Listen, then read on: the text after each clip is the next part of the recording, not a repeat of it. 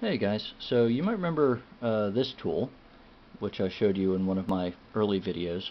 Uh, it's the Peterson American Lock Bypass, and it works by taking an American lock, uh, inserting this tool, come on, down the keyway, there we go, and then you just sort of work it in, and when you can, when you can get it deep enough, uh, you just sort of twist it around, and it will pop the shackle open because it can reach through the actual lock cylinder uh, and directly attack the latching mechanism that keeps the lock closed.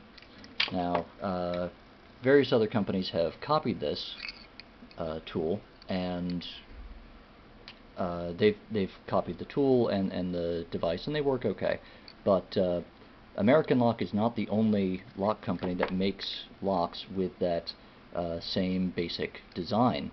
Abus has one, the uh, Model 72, which has the same type of lock mechanism, uh, but their keyways are a bit different.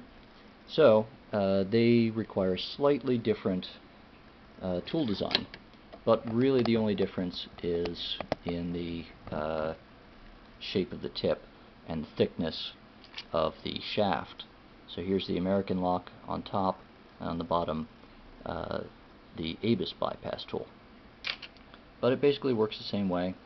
You fit the tip in into the keyway, you work it down the uh, keyway, and you wiggle it around until you can uh, engage the latch mechanism.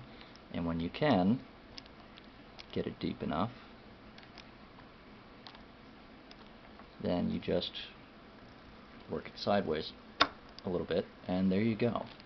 So, just remember, it's not necessarily what the body looks like or even necessarily the name on the front of the lock, it's what the mechanism is inside. So, until next time, stay safe, stay legal, and happy picking.